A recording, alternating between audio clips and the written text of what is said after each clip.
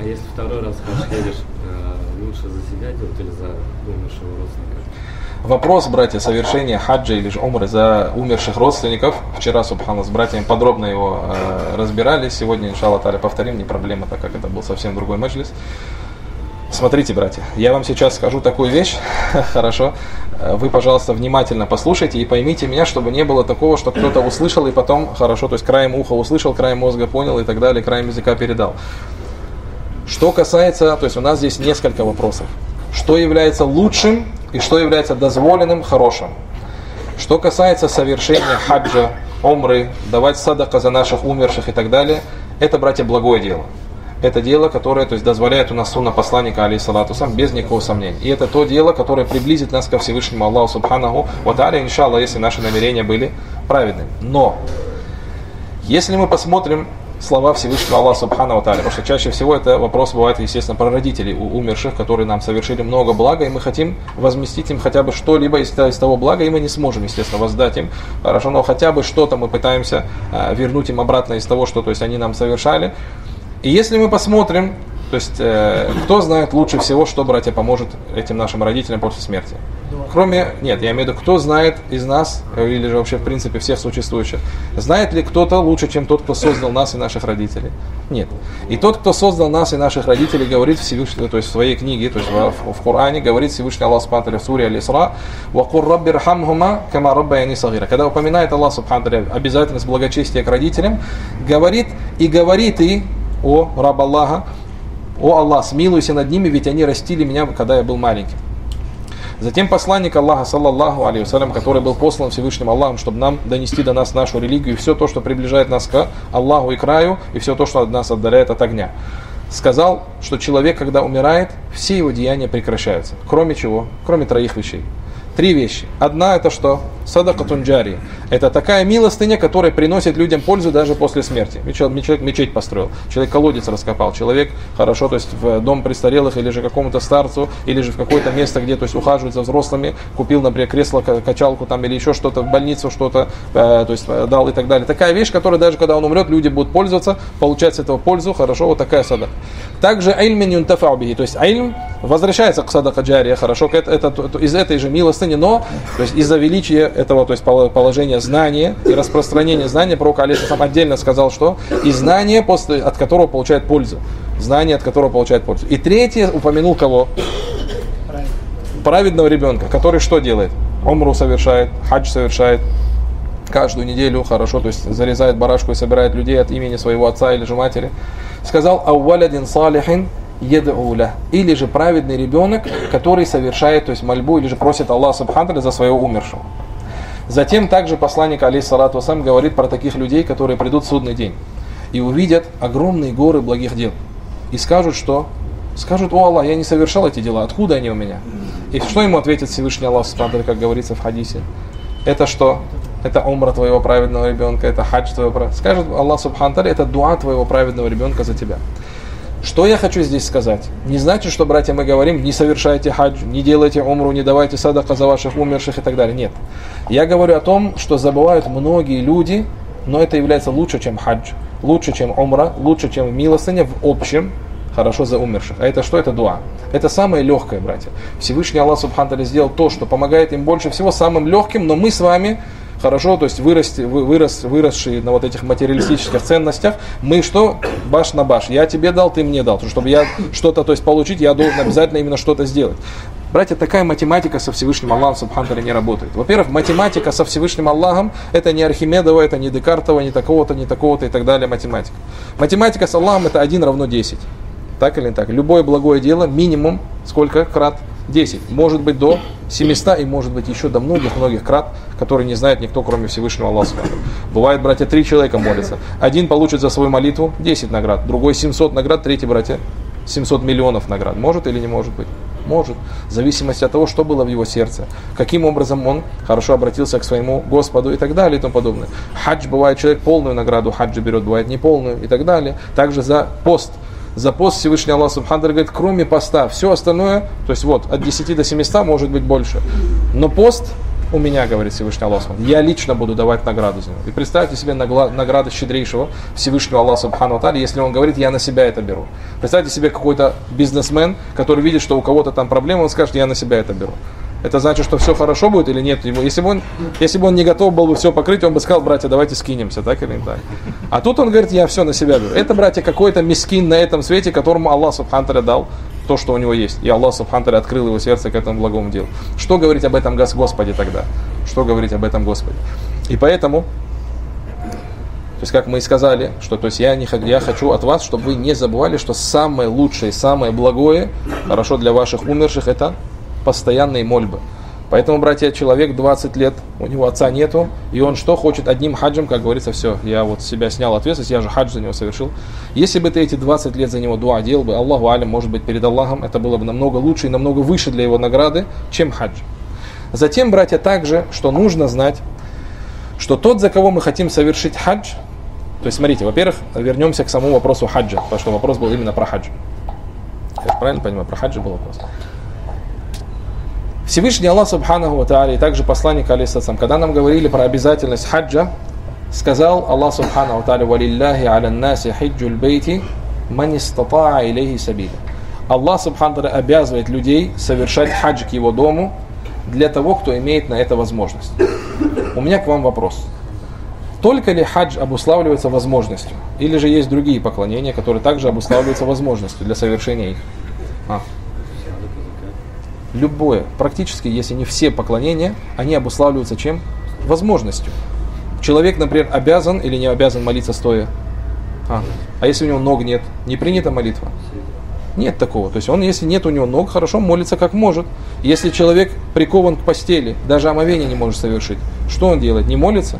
Молится так, как он есть. Вот в каком он положении. Не может омовение делать без омовения. Не может в сторону киблы повернуться, если он ничем, кроме глаз, двигать не может. Даже глазами не может двигать. Он что? Представляет, что он сейчас совершает руку, как будто он произносит такие-то такие слова и так далее. То есть, но по мере возможности, как ты можешь, так и делаешь. Но почему именно в хаджи у нас что?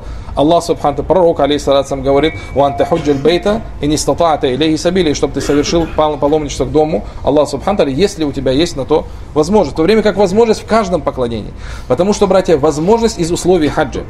То есть это у тебя что? То есть в принципе тебе не становится обязательным хадж, пока у тебя нет на него возможности пока у тебя нет на него возможности. Если у тебя другие поклонения, ты обязан совершать многие из этих поклонений, но в самом поклонении уже учитывается возможность. Поклонение ты должен совершить, но так, как сможешь. Хадж нет такого, что так, как сможешь, так и соверши, хорошо? Нет у тебя тасриха, без тасриха совершай. Негде спать, там на улице спи и так далее. Не можешь и так далее, то есть хорошо как-то по-другому, там хоть в плаве и так далее доберись. Тебе не говорит об этом Всевышний Аллах. Тебе что, у тебя должно быть сила телом, ты знаешь то, что ты сможешь справиться с этими обрядами, сможешь закончить их и так далее. И у тебя имущество что хватает, чтобы добраться и вернуться, и твоей семье на это время будет что кушать, пока ты не вернешься. Вот что такое возможность для хаджа. Зачем мы это говорим? Потому что, смотрите, братья, если человек, который умер, у него были деньги, но он даже не помышлял о хаджи, есть смысл от того, что мы за него хадж совершим? То есть представьте себе, человек миллионер, на Бора-Бора он летает каждый раз. На Карибских хорошо, то есть у него там свои виллы, Мальдивы. Все, весь мир он хорошо облетел. В Америке, там, в Канаде, еще где-то был и так далее. Но как только касается вопрос хаджа, нет возможности, нет денег, потом может быть и так далее, и умер он. За него 30 хаджей ты совершаешь. Он когда мог сам это совершить, он не совершал его. Хорошо, то есть если он умер вот таким образом и так далее. То есть из-за этого человека, может быть, даже и не будет принят в принципе хадж. Ему не будет за него награда записана. Почему? Потому что он был обязан его совершить сам и мог, но не сделал этого. И дела ему до этого не было. Другой же человек, что у него накопились деньги, но он умер до того, как он смог совершить хадж. Неужели вы думаете, что этот человек умрет без награды хаджа? Неужели вы думаете, что он умрет без награды хаджа? То есть, субханла, удивительно, братья. То есть, как раз просто с братом пример этот обсуждали в день Арафа нам пришел такой хабар, хорошо, что есть возможность зайти в Мекку и разрешают совершить хадж, даже если у тебя нет, то есть разрешения я попытал счастье, как говорится, поехал, хорошо. И, то есть не получилось у меня. Альхамдули, я выехал, и мне это сказали, то есть нельзя так, разворачивайся, едь домой. Я, братья, надеюсь, что Аллах Субхану запишет мне награду, потому что я не мало что намерением, если бы у меня была возможность совершил бы так я еще и в эту сторону подвинулся, хорошо, то есть как-то. Надеюсь на награду, а то, конечно, она не будет подобна даже близко тому, кто непосредственно совершил хадж, но ты надеешься на награду. И поэтому что говорить о том человеке, который собрал деньги, то есть и так далее, и хочет совершить этот хадж, но он умер до того, как он смог отправиться на этот хадж. Разве он умрет, братья, перед Всевышним Аллахом без награды за хадж? То есть, субхана, никто так не думает о Всевышнем Аллахе, субхана, так или не так. Затем другой человек, у которого нет возможности, но он очень хотел бы, то есть не мечтал бы совершить хадж. Этот человек умрет без награды хаджа. Не говоря о том, что этот человек в принципе обязан хаджем или нет. Он перед Аллахом в принципе не обязан, у него нет возможности. И тот человек, которому дела нету до хаджа, но у него нет возможности. Если у него дела нет, почему? Потому что он в принципе у него не, не обладает возможностью, это один вопрос. Другой же человек, даже если бы у меня деньги были, вряд ли бы я в хадж поехал, я лучше вон в Турции отдохну, скажет человек, например. Этот человек, братья, ты соверши за него хадж, не соверши. Какой толк? Какой то я не, я не берусь, опять же, братья, я почему вам говорю, чтобы вы осторожно к этим словам подходили, я не заявляю о том, что Аллах смотри, непременно никакую награду не запишет, я просто говорю о том, что то, что мы знаем из шариата, указывает на то, что какая будет награда, то есть человеку, который сам не помышлял об этом благом деле, и ты за него его делаешь. Не бывает такого. Так или не так? Хорошо. Хотя милость Аллаха Субхану безгранична, естественно. И поэтому, братья, все вопросы совершения хаджа, умры за кого-либо будут возвращаться к вот этому, к вот этому пояснению. Валлаху алям, это из того малого знания, которым хорошо, то есть я обладаю. И поэтому, братья, смотрите, если мы возьмем, то есть все вот эти шариатские тексты, Аллаху алям, братья, опять же, я говорю вам на основании своего малого знания, то есть я не, не скромности, а говорю о том, что у меня нет знаний.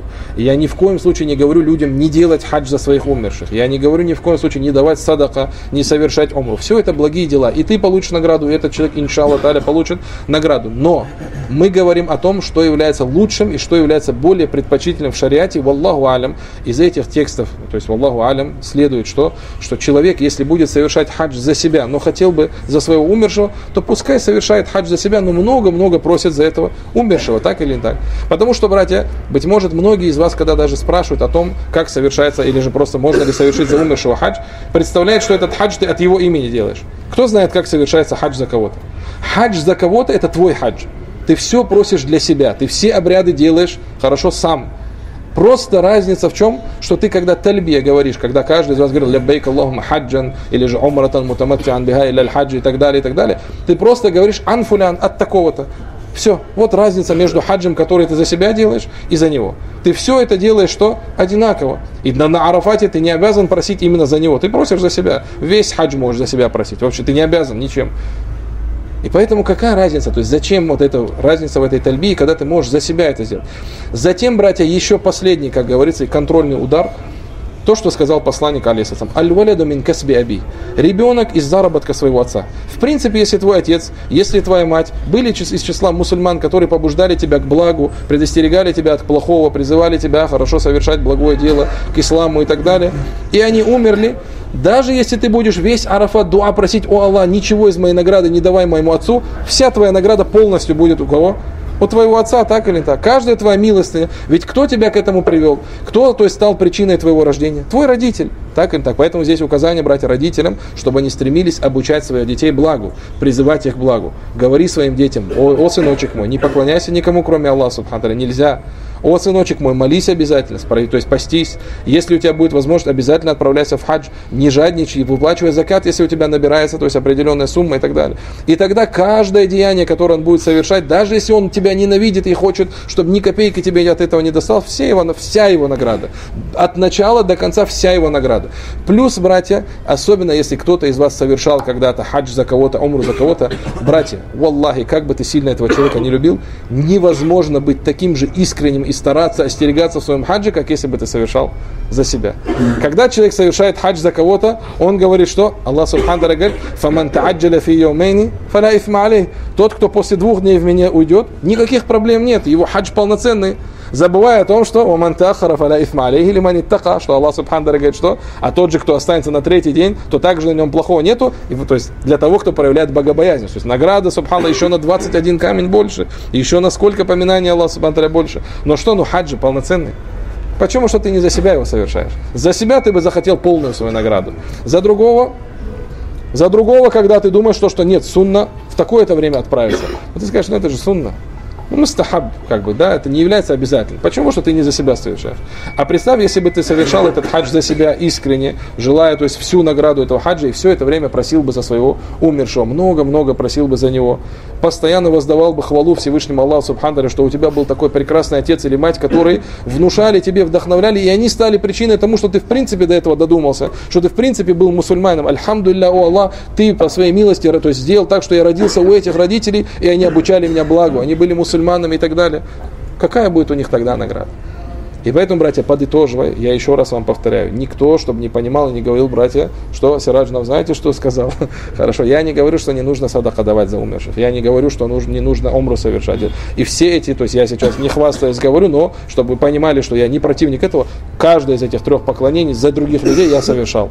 Я не вижу в этом проблем. Но действительно, иногда, то есть если человек знает, что он хотел бы именно таким образом проявить благочестие, он не совершает упущение в другом, это совсем другой вопрос. Хорошо, альхамдуля зиядат хайр, как говорится, только лучше будет. Но мы говорим что, что, братья, не забывайте о такой великой вещи, как дуа.